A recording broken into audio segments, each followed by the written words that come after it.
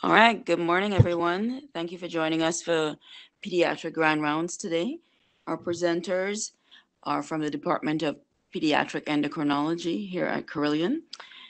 Uh, Dr. Melissa Garganta is a graduate of USC for her medical training and residency. She completed her clinical fellowship in endocrinology at Vanderbilt University and has worked for many years in the Prism Health System of South Carolina prior to joining Carilion in January of 2020. She has a special interest in bone metabolism, thyroid cancer, and the type 1 diabetes care. Our second presenter is Lori Wise. She's a graduate of Cabarrus College of Health Sciences, where she completed her RN and BSN. She went on to UNC Chapel Hill for her pediatric nurse practitioner uh, training. She's also worked for many years in the Prism Health System in Charlotte. She has a special interest in the care of type 1 diabetes and was awarded the Community Championship Award by JDRF. She joined Carilion also in 2020. Please welcome Dr. Garganta and Lori Wise. Hi, good morning, everybody. And thank you, Janie, for that fantastic intro song. If anybody does know the artist, please type it in because I, I have no clue. Um, so this morning we're going to talk about technology and specifically type 1 diabetes. Uh, we picked this topic because we found that a lot of the residents that rotate with us and just community physicians, a lot of the questions we tend to get about our patients who use different pumps, CGMs, different technology to take care of their diabetes. And it's a, a very very confusing topic and uh, there's a lot of different types and we hope that you'll leave here with a little bit uh, better understanding of the options out there for our kids. Disclosures, we don't have any financial disclosures. Uh, we will be using company brand names of certain devices in order to differentiate the types. There's really no generic name for these, these different types of, of pumps. So we will be using brand names for that, but no brand names of any medications will be used. Uh, you will see some brand names of historical medications that are no longer available in the, the history section. And we will be discussing only FDA approved current devices. Um, and that is out of just safety for our patients. There are a lot of other options out there you may see or hear about, but in, for the purposes of this talk, we'll just be discussing um, FDA approved options in this country. And we do have a lot of patient photographs that are all used with permission. Uh, by the end of this talk, uh, I hope you we'll be able to understand sort of the brief history of insulin and technology development for the treatment of type 1 and just understand how we've how far we've come in the past 100 years. I'm going to explain the difference between um, types of glucose monitoring and insul insulin delivery systems that are currently available, and also at the very end summarize how closed loop systems can work to effectively manage diabetes, as this is what a lot of our patients are now transitioning to. Just very quickly, type 1 diabetes. Uh, for the purposes of this talk, we're focusing just on type 1, not on type 2 or, or any other form of diabetes. There are over a million Americans living with this disease. About 200,000 of them are our patients in the, the pediatric population. About 18,000 new cases of type 1 diabetes are diagnosed each year. And it's estimated that each year there's about a 20% increase. So this is definitely a, a disease that we are seeing more frequently. Um, the only effective treatment for these patients is insulin. They're not able to take any other kind of medication to help with their condition. Uh, it's a very expensive disease to uh, treat for healthcare and for families. And it is a disease that uh, does tend to run in families. About um, 5% of our patients who have diabetes have either a parent or a sibling that also have type 1 diabetes.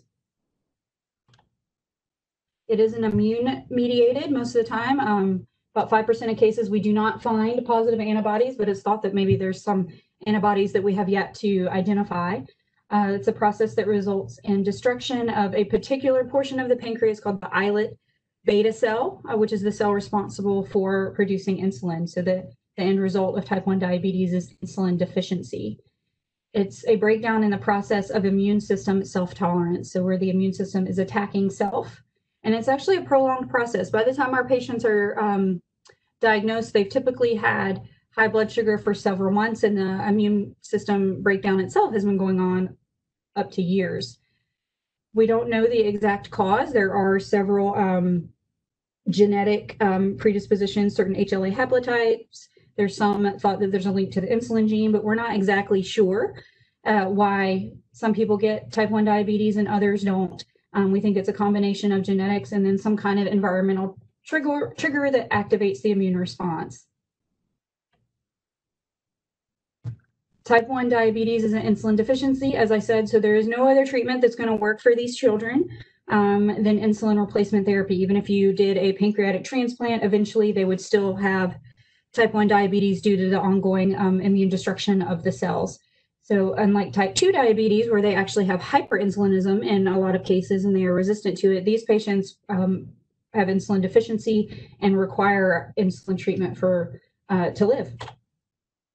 So I'm going to walk you through the the first part of the last 99 years. And so what I want everyone to, to understand is that insulin was discovered in 1921. And so that's 99 years ago. And so prior to that, every patient with type 1 diabetes died. The only treatment for type 1 diabetes prior to the 20s was starvation. The children were basically fed sometimes less than 500 calories per day, uh, limited to zero carb diet, and that bought them some time. But that was it. It was a very poor quality of life. They were quite sick, uh, very thin, and, and really just suffered. There was no no way to help these people. And so I'm going to walk us through the discovery of insulin through the the 2000s, early 2000s, uh, and explain how things have evolved. And then Lori Wise is going to take over and, and talk about our current technology. So most importantly, we're going to start with insulin. So insulin was discovered in 1921. We did know prior to this, uh, in the late 1800s, the, the pancreas was found to have different parts. So basically the islands, which we now know as the islets of Langerhans, but they were first called islands, were discovered. And over the next 20 years, they it was felt that there was some substance produced by these islands called insulin, um, which is after the, the Latin name um, for insula, for island, that was responsible for controlling carbohydrate metabolism. But that's pretty much all we knew. We didn't know how to get to it or what it really did. And then in 1921, these two gentlemen here, uh, Frederick Banting, who was actually a surgeon who had served um, overseas and then after the war came back to Toronto and was having trouble running a private practice in surgery and so he took a research position at the University of Toronto and then Charles Best who was only 22 he was a medical student at the time um, they worked in a lab at the University of Toronto and Dr. Banting was interested in type 1 diabetes because he had a friend who passed away from it at age 14 and he he saw her suffer uh, and wanted to find a way to to treat this disorder and so they did research experiments on dogs. Um, several dogs, their first 19 dogs um, passed away within uh, hours to days, and they were very unsuccessful, but they kept going. And then Marjorie, that sweet pup there that you see on your screen, is the very first diabetes patient who was treated with pancreatic extract. And so what they did is they took dogs, they removed their pancreases and made them diabetic. And then they took another group of dogs where they ligated the exocrine ducts of the pancreas so that basically the exocrine pancreas atrophied away. And so you had the endocrine pancreas remaining, and they removed it, ground it up, and injected it into the dogs that had had their pancreas removed. And Marjorie lived for 70 days. Um, and she was described as being healthy and active like a puppy puppy and unfortunately she passed away after that because they ran out of extract she was the first successful patient to, to be treated with what would eventually be insulin. This is one of the first human patients to ever receive insulin. So Leonard Thompson was actually the first. He was a 14 year old. There's not a lot of, of, photographs of him available. This is probably the second or third um, young man to be treated. And you can see the picture before um, he was very cachectic and, and, and, and sick and just dying. And then a few months later, after receiving um, basically ground up pancreas extract from cows, he is a thriving, healthy, plump little boy. So definitely life life changing discovery. From there, things somewhat, you know, in the in the realm of science anyway, rapidly progressed. Um, Banting and and Best were really heralded as as heroes as they are. Um, in 1923, the Nobel Prize was actually given to Banting and a Dr. MacLeod, who is actually the the head of the the lab. He wasn't really directly involved in the research, but he was the head of the lab. Poor Best got got um, left out because he was a medical student. Um, but Dr. Banting gave him his prize money from the from the Nobel Prize because he did a lot of the hard day-to-day work. And then Dr. Collip is the one that discovered how to purify the extract, taking it from ground up pancreas sludge to to just the insulin component. And you can see another uh, the first female patient treated um, in that picture there, also very cachectic, and then a very healthy looking girl just a few a few months later. Um, the drawing there is one of the first pictures from Banting and Best Lab that that shows the the islands or islets of Langerhans. It's one of the first uh, published. And you can see the quote by Dr. Banting there insulin does not belong to me, it belongs to the world. And Dr. Banting sold the patent for his um, insulin. Discovered at this point they were using cows, bovine extract instead of dogs, but um, he sold it to the Eli Lilly Pharmaceutical Company for one dollar, so that this cure, this cure, as they called it, would be available for all patients. This is the, the paper from Banting and Best that came out in 1922, um, describing the internal secretion of the pancreas and insulin. You see one of the very first vials of insulin here from the University of Toronto. It was 50 units per 5 cc, um, and basically it was it was just ground up, somewhat purified um, cow pancreas, but it worked. From then on, uh, Lilly and the Novo and other companies at that point in time took over the, the process of manufacturing insulin. Uh, they discovered it was easier and cheaper to make from pigs. And so all insulin was was porcine in nature for, for many years. And it took approximately seven pounds of pig pancreas to make one vial of Iletin, which is what um, Lilly branded their their first types of insulin. So um, very long gross, to be honest with you, process to, to make this. And um, at the top right of the screen was a display and that from uh, Eli Lilly that explained how the Iletin was made and the multi-step process that it was purified and basically transitioned from a brown liquid to a somewhat clear liquid. And at the bottom of the screen is the first ever prescription form of uh, insulin that was available uh, with a reusable syringe that patients were to wash and boil at home and a needle that you sharpened yourself at home. Um, so very, very barbaric compared to what we do now. After uh, the initial discovery, uh, there was a fairly rapid progression in the evolution of insulin. So 1921 through the late 1970s, all insulin was bovine or porcine in origin. So we did not know how to make human insulin yet. Um, it was not until 78 that the first strand of recombinant human insulin was manufactured.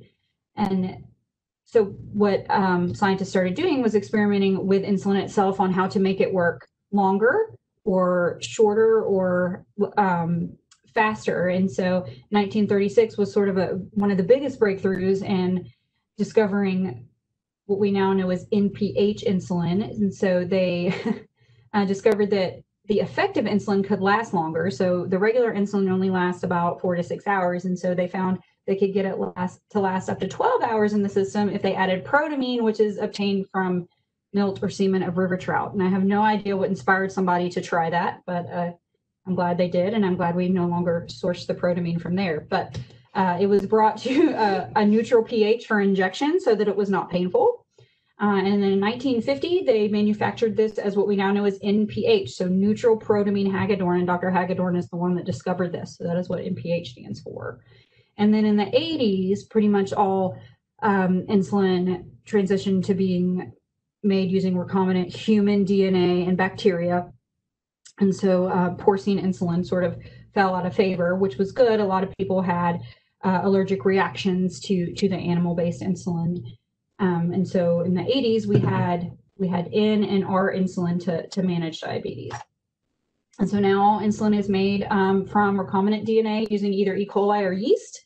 And basically, they take the human insulin gene, um, put it in a bacteria that will rapidly produce it, and then wash um, away um, the rest of the solution, including the bacteria, and you have pure, uh, sterile recombinant human insulin. So now that we have good human insulin, the next step over the probably the last 20 to 30 years has been altering the insulin molecule to make it do different things, whether substituting an amino acid, adding a particular protein, changing the pH, different ways of manipulating this molecule to make it work more rapidly um, and last longer. So now, today, we have a slew of insulin options um, that have a duration of action ranging from a couple hours all the way to more than 24 hours so that we can effectively match insulin needs to our patients' diet, activity, and growing needs. So just to kind of recap on insulin, um, we went from less than 100 years ago to in 1921 and 22, the discovery of insulin, um, to the first commercial insulin in 23. So life changing patients that died were now able to live to using um, and all the way to the 70s where all of our insulin was animal based human insulin starting in the 80s our modern insulins in the 90s and early 2000 and now there are you know ongoing um, studies to make even better insulins even even more treatment options um, a lot that we aren't, aren't available to us in pediatrics, but hopefully they are coming. So now we have the insulin. So how are we going to get it into the patient? So initially, this is what we had was a very scary, barbaric looking syringe. Um, that was glass with a um, reusable needle that was boiled and sharpened. Um, in 1925, the Novo syringe was marketed as the first insulin specific syringe. It had this very large needle and a, a metal uh, plunger that, that screwed on, um, but it was available for use at home. And then in 1932 was the first automatic injector, um, which um, looks quite terrifying actually, but basically you loaded the insulin, dialed it up, pressed the button, and it uh, rapidly injected the insulin um, into the skin. Disposable syringes did not come out until the 1960s. These were still glass, but at least the needles were no longer reused. Um, so you could um, use a different syringe for each injection. These are just some historical photos of, of kids injecting their own insulin um, with very, very big, scary needles, but doing it and, and doing a great job. Modern syringes, what we have now, what you guys see in the hospital and, and use every day, they're all plastic, they're disposable, they're single use and sterile. Um, the they're small now as a 31 gauge by four to six millimeters, so very, very tiny needle compared to the hypodermic that you saw on the previous slides. And they hold differing amounts of insulin, and some of them are even small enough that they have half unit markings for our younger patients. We also use insulin pens. The first insulin pen, insulin pen came out in 1985, and it did have disposable needles, so they were quite long, um, and cartridges that you that you replaced. Um, pins have rapidly evolved. You can see in this other picture, these are these are all pins that are no longer um, manufactured, but have evolved over the years. Different types. Everyone has tried, you know, different mechanisms, but um, overwhelmingly, this is this is pretty standard of care for most of our new onsets. They are all given insulin pins. Very rarely does a patient use vials and syringes anymore. Modern insulin pens can be refillable or disposable. The needles are as small as four millimeters, as you see in that picture, so very tiny, not painful at all. Um, the insulin does not need to be refrigerated in these pens once they're open. And there's even smart pen options now that have Bluetooth and memory to help keep track of dosing. The first insulin pump uh, is pictured here. You can see it's huge. It was in 1963. It was about the size of a microwave. You had to wear it as a backpack, and it required venous access. So basically, you were walking around with an IV in a backpack. So you, can imagine this did not really become commercially available, but in the research setting, this was a huge breakthrough. Insulin pumps rapidly evolved after that as well. Um, from the 70s, where it was very much like a small IV pump that you would wear, um, to the 80s, where it was still quite large, but much, much more portable, and you could actually program it um, to give varying amounts of insulin rather than a steady infusion. And you can see in the picture at the top the pump from the early 80s, um, similar to, to what we have now, but still basically a, just a compact IV pump that you could dial the rate on with a needle that you basically just put in the skin and then taped down. So not very sterile, a little bit higher risk of skin um, and site infections. And then over the 90s, pumps got smaller and smarter um, to where they could change rates. They could um, uh, do basically the, the bolus calculations for you. they were less intrusive, they were um, battery powered, and the battery would last longer. Um, so just just a gradual decrease in size and increase in function. Insulin pumps in the 2000s um, were much smaller. The sites were much better to reduce infection and skin irritation. Of course, they came in fabulous colors that kids like. And then um, the first tubeless pump, as you can see, there's the early early pod pump, um, which essentially worked the same way, but worked via um, a radio signal from a controller so that the patient did not have to have a tube going from the skin to the pump itself. So basically, all insulin pumps work at a, at a basic level the same way, uh, where you have an infusion set and a cannula that goes in the skin, and then a pump that has um, an algorithm or a program to deliver a set amount of insulin that we program that it either goes through a tube or the insulin pump itself sits on the skin and it's operated by a remote controller. So we know how to give insulin. We have lots of ways to do it, but how do we know how much to give? And so home glucose testing is probably one of the most interesting things I think that have changed in the last few years. So um, initially there was really no way to test glucose at home. The patients were just given basically enough insulin to keep them alive and keep them fairly healthy. In the 40s, they developed the CliniTest, which was a, a, urine test for checking blood sugar at home. And so basically, you had to pee in a tube and then add this tablet that had a copper reagent in it, and it uh, reacted and turned a color. And the color produced by the heat reaction corresponded to an estimated blood sugar. These were highly poisonous if ingested uh, and very, very cumbersome, but it was really all they had for a long time to monitor glucose at home. Then the first glucometer um, came out. Um, this is in the early 1960s. Um, it was three pounds and cost $650. So this was really marketed more for physicians' offices, not so much for home use. Um, but you would poke your finger and put a fairly large amount of blood on a, on a Dextrostix, and it would change to a certain color of blue. You would put the strip in this reflectance meter, and um, the needle uh, would re- uh, correspond to the reading of the intensity of the blue light, and that would give you a, um, a blood sugar uh, reading, and it can take up to five minutes for a single single reading. So thankfully, we rapidly over the 70s and 80s, um, now to more current glucometers, um, have become smaller, require a much smaller blood sample. They all have digital readouts now um, instead of a, a, a, radio needle, which is which is good, and they are much more rapid, um, giving readings in 30 seconds often. Um, so much much easier to use, much portable. They can be rechargeable or hold batteries. Lots of different options. And now I'm going to turn it over to Lori Wise so she can talk about um, what our patients actually use now and, and hopefully um, give you guys a better idea of what we do on a day-to-day basis. All right, guys. So I'm going to talk about today's insulin pumps and CGMs.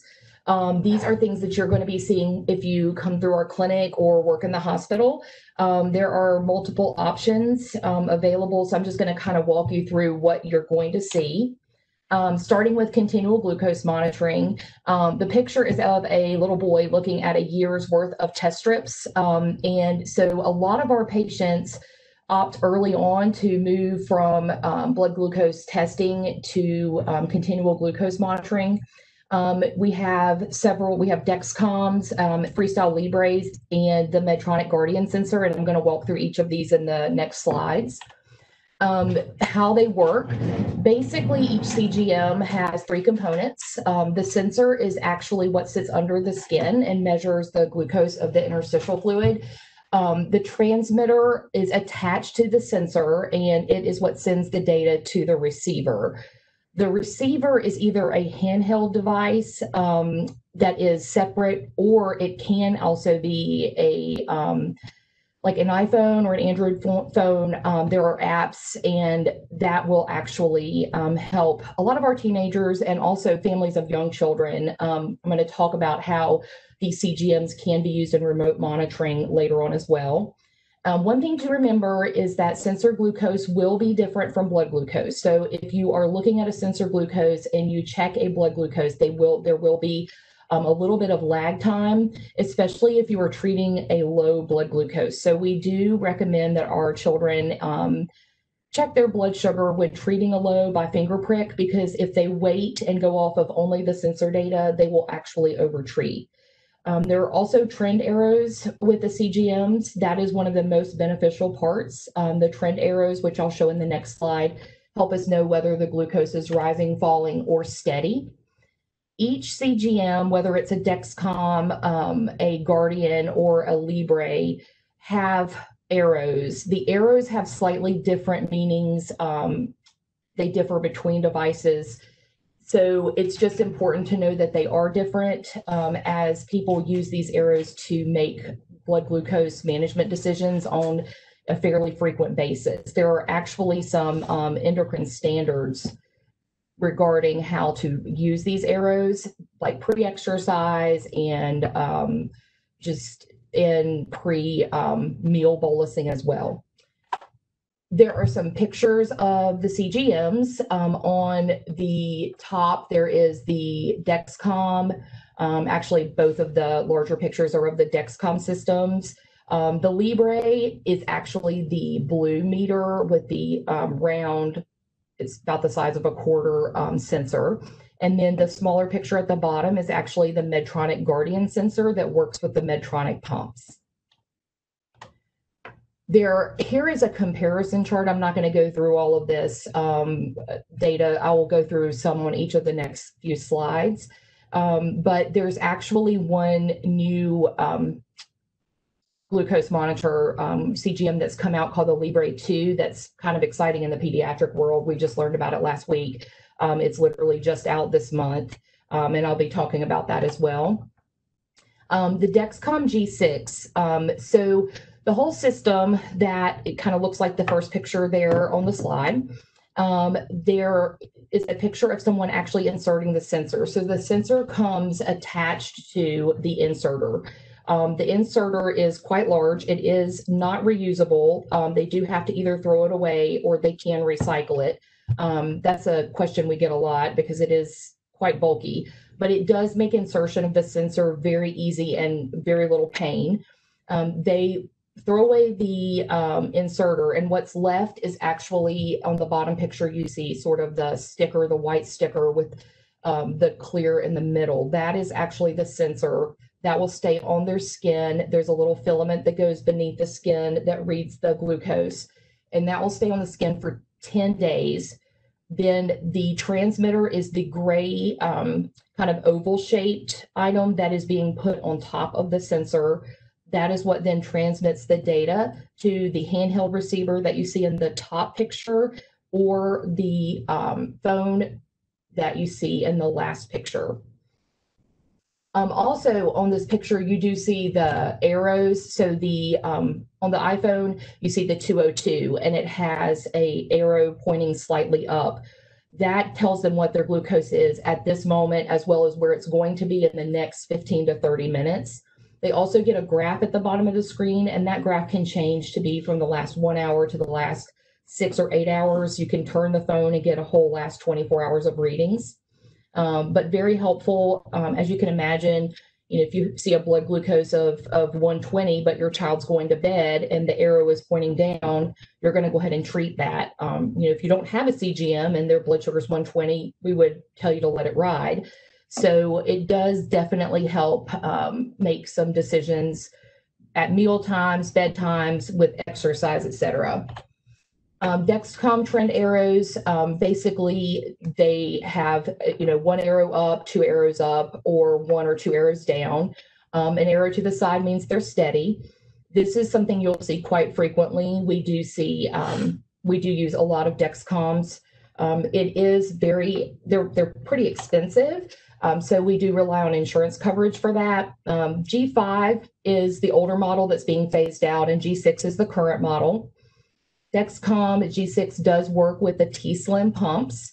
Um, it can also work alone. So we do have kids on injections using the Dexcom um, and other pumps.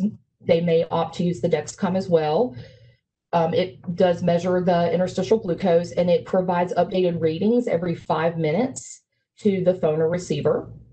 Um, the one of the most important things about this is that you can set high and low alerts, and these can be individualized for each individual patient. Um, except for the urgent low is always set at 55, and you cannot change that.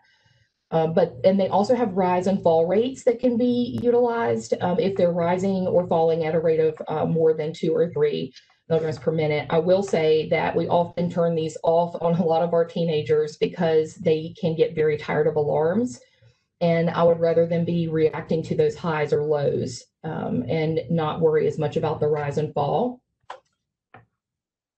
Oh, yes, I have to tell you that so the, the koala there is actually wearing a Dexcom. His name is Quincy, and he lived in the San Diego Zoo.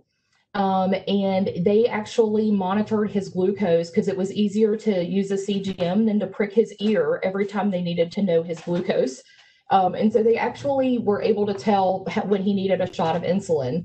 Um, and he was actually in the San Diego, I think he wore it for a few years. Um, he has passed away, but it was not from diabetes. the Dexcom also, when they come into our clinic, we can actually download the Dexcom. Um, we also can, they can share um, basically to a cloud and we can remotely monitor their glucose. So we do have families that will call in and say they've been running high or low, and we can actually look online and you know visualize what their glucose has been doing. Um, the graph, um, the first graph under the title just shows daily readings. So we can look at day to day um, over a 12 hour period, or at the top, we can actually look at like a two week or 30 day or 90 day um, overview, which I think speaks volumes. I, I like to use that a lot and show the families. Um, and you can see like what the trend is that specifically this person kind of runs high all the time, but they definitely have a spike after breakfast. So it helps us really make some insulin adjustments and pump adjustments. Um, it also gives us what their average blood glucose has been over that same 14, 30, or 90 day period, as well as how many lows in range and highs they have. Um, this specific one does show a very large amount of low blood sugars in the red, um, and it does let us know that they're at high risk for a severe hypoglycemic event. So very helpful downloads. Um, families can also see this on their phone. There is a Dexcom Clarity app. Um, it will also now give us an estimated um, A1C, which is really pretty close to what we would measure in our clinic or at the lab. The next um, CGM is the Guardian. That is, this is the one that works with the Medtronic pumps. Um, it only works with Medtronic 630 and 670 insulin pumps. Um, it does work with them helping to suspend before low, and it works within the 670 in like a hybrid closed loop system, which I'll talk to a little bit more later. Um, again, their trend arrows with Medtronic are different. Um, you can see on the pump picture that you have a glucose on the pump itself, along with two, like a double arrow down. So this is um, falling pretty rapidly. There is also a Freestyle Libre CGM, and there's actually two models of this now available in the United States. Um, there is the traditional Libre and then the Libre 2. Um, basically, this is a 14 day system. So they put the round sensor on, it's about the size of a quarter, very easy to apply, usually on the upper arm. It can stay on for 14 days, and they actually scan over the sensor with a reader. Um, and you, you it reads in a matter of seconds. It will read through clothing. Um, the issue with this one, there's well, there's two different types. The traditional type is approved only for 18 years and up. It is much less expensive than the Dexcom. And so we do have some families that will opt to pay out of pocket for this device. It's usually 30 to $60 per sensor. Um, the reader is additional um, on top of that cost. There is a 14 day wear. It is a scan system. You do not receive any alerts of high or low glucose like you do with the Dexcom. You scan and you will get the data that you see there in the picture a blood glucose, or I'm sorry, a sensor glucose, as well as an arrow telling you if you're rising, falling, or steady, and then a graph at the very bottom. You do have to scan the sensor every eight hours in order for it to really keep full data. Um, if you do not, you will see some gaps in the download or the graph. Um, we can download this at the office, or we can also remotely view this um, through the Libre um, link um, or Libre view system. The Libre 2 is the one that is brand new as of this month. It is approved for ages four and up. So this is going to be um, a great option for our younger patients um, that maybe the insurance does not cover other sensors as well.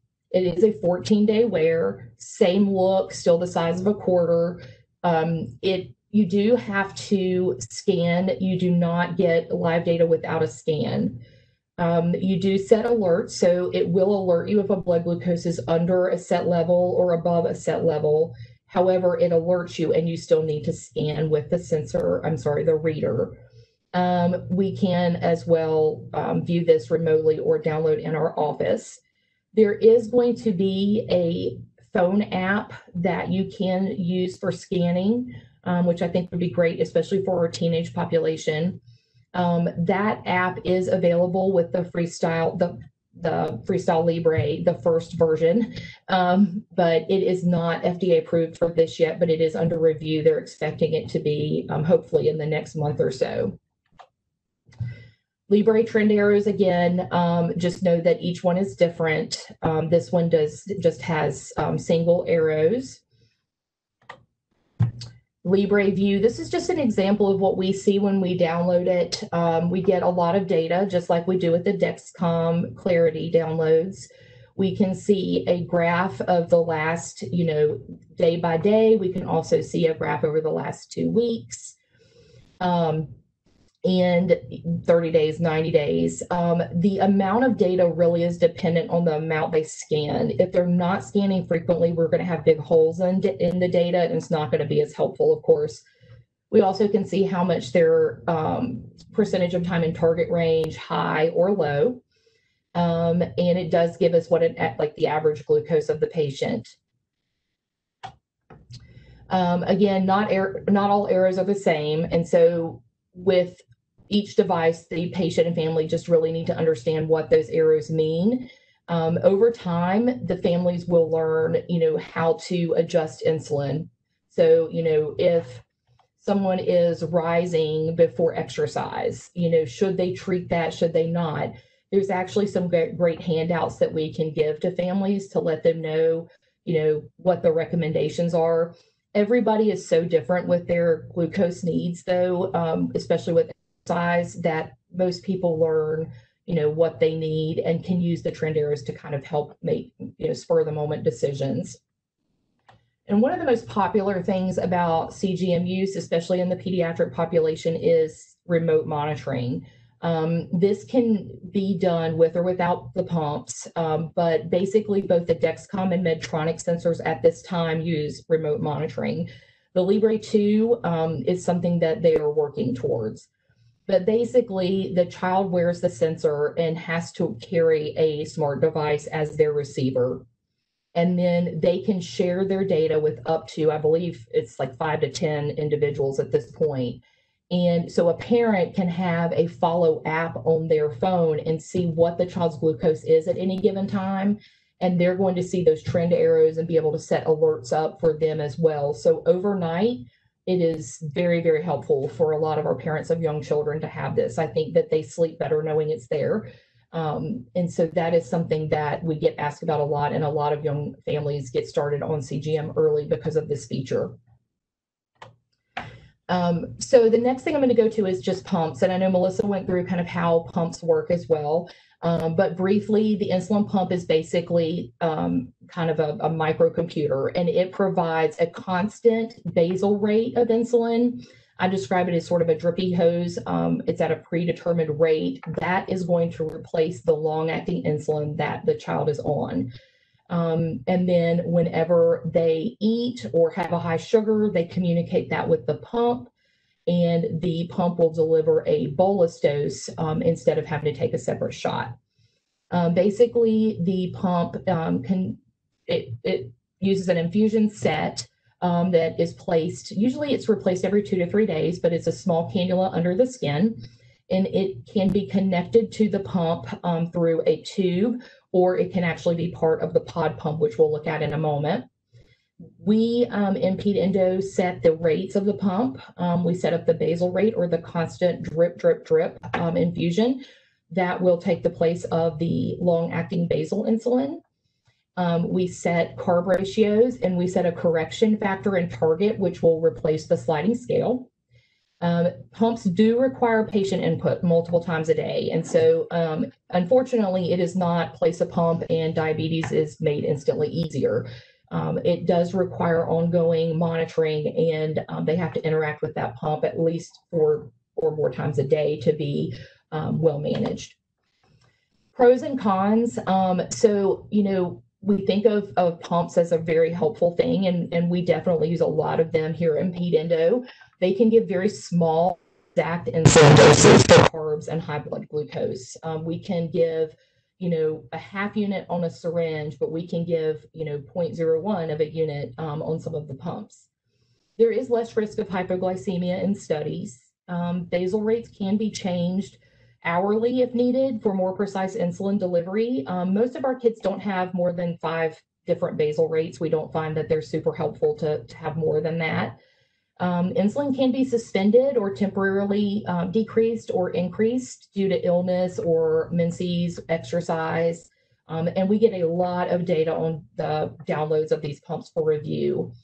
Um, cons, there is an increased DKA because these children are only using the more rapid acting insulins.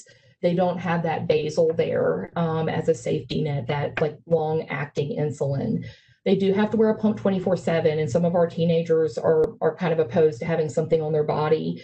Um, it's a visual sign of diabetes. Again, teenagers will say, I don't want people asking about this. I don't want people saying, What is that? You know, do you have diabetes? The you know they do have to consider what type of pump that they would like. Some of that is driven by insurance coverage but basically the big decision is do you want to have a tubed pump versus a non-tubed pump? Um, then cost is also um, some of the pumps can be up toward $8000 um, you're talking about initial cost of the initial um, pump and supplies as well as a monthly cost for the um, sites and the tubing. Um, so it can be quite pricey. Um, what pumps are available? We have a, we have Omnipod pumps, Tandem pumps, and Medtronic pumps. These are the three that you're going to see most um, here in the, the pediatric realm and here with our patients at Carilion. Um, Omnipod has two options. They have a traditional, um, and then they have come out with something that is um, called the Dash, and the Dash is a touchscreen version. These are both um, tubeless. So they actually wear the pod that you see in the picture. That is filled with up to 200 units of insulin and it is placed on the body every three days. After three days, that pod expires. They have to change it. Um, this is kind of nice because you know that they're going to be replacing and moving that pod every three days. Um, the other picture shows what is called the PDM, which stands for Personal Diabetes Manager.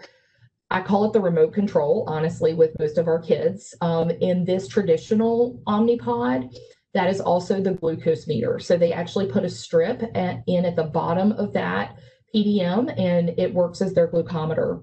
They do not have to use that. They can manually tell this pump what their blood sugar is and when they eat, um, and it will communicate um, to the pod and dose the pod does have to be within six feet of that PDM for it to give bolus doses when they eat.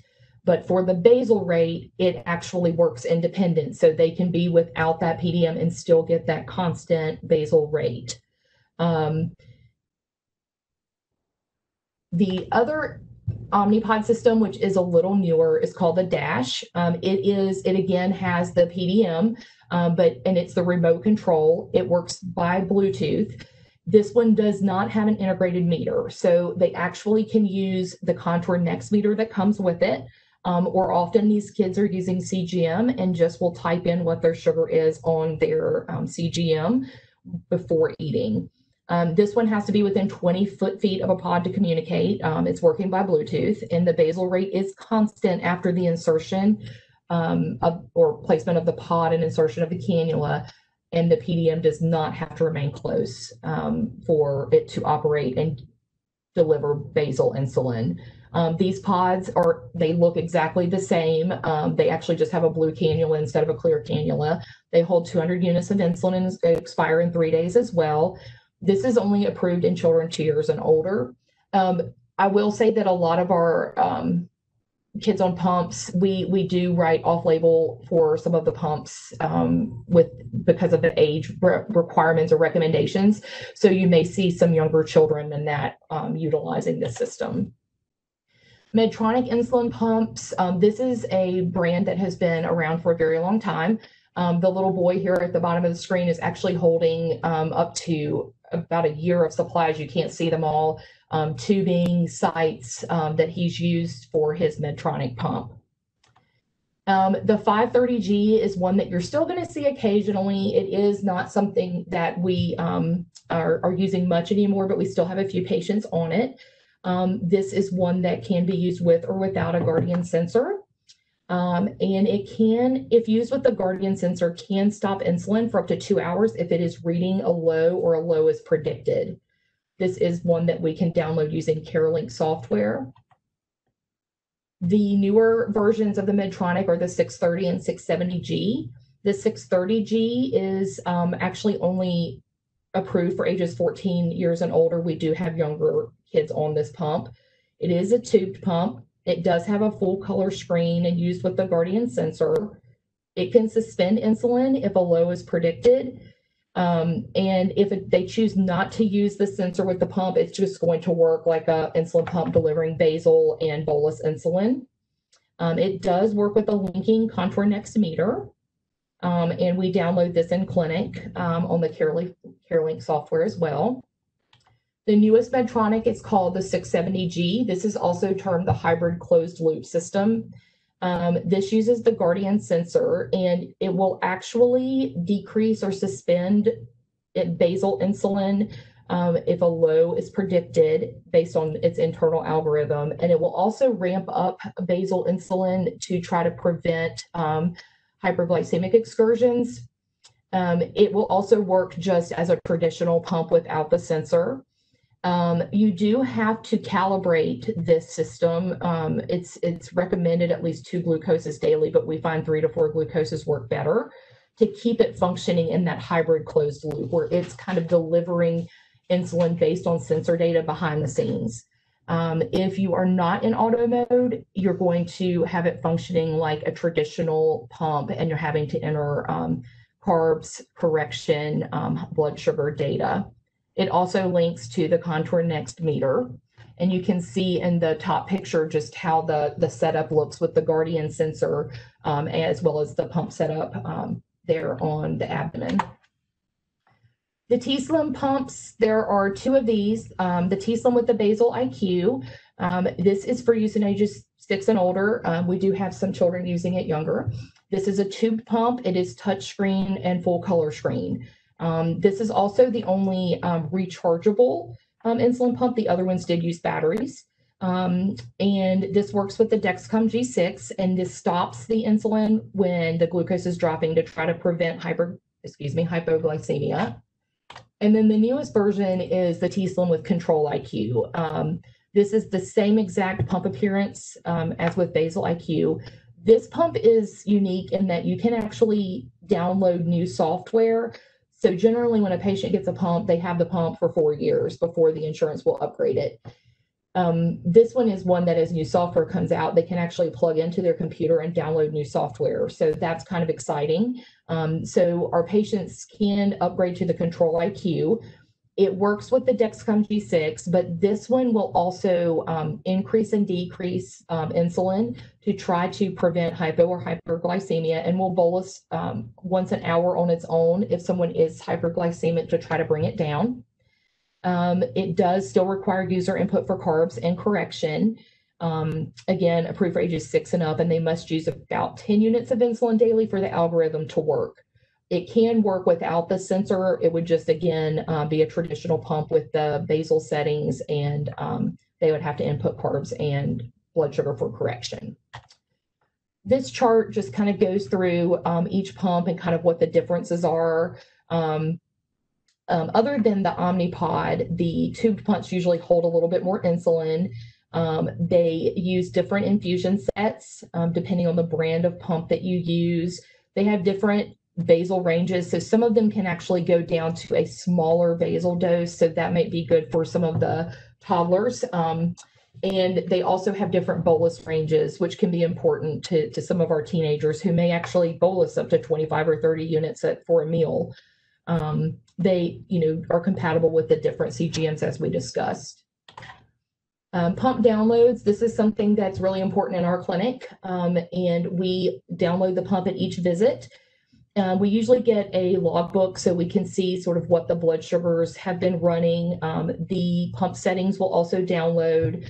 The logbook will not only tell us blood glucose levels, but also what kind of carbs are they entering and how much insulin are they getting daily by basal and by bolus. We wide variety of charts and graphs, and it just helps us know how the kids are doing and helps us make adjustments. Um, some of the downloads will also combine the pump data and the sensor data, which can be very helpful right here.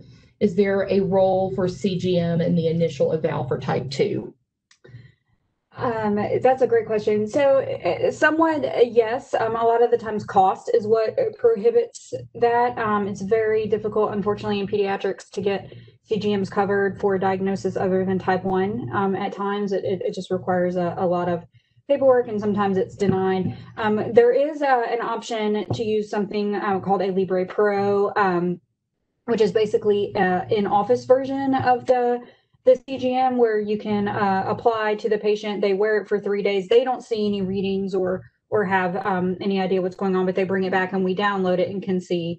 Um, we use that more um, honestly when we're we're concerned about um, poor control, just uh, you know, um, in patients who aren't already on CGM.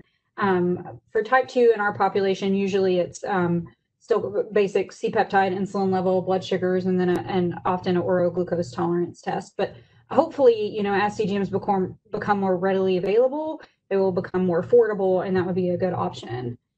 Um, and then also, is it a, a, role for CGM evaluating the tired teenager whose parent is worried about low sugar?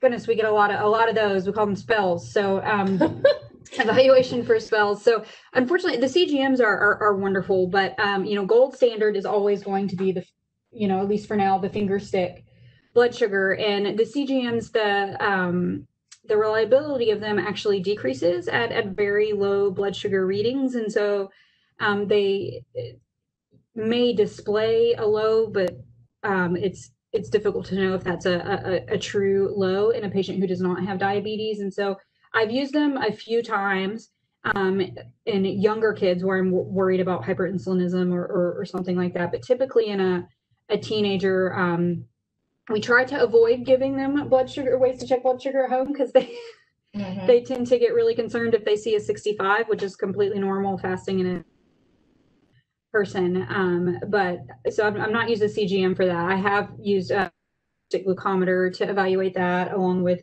with some other other labs.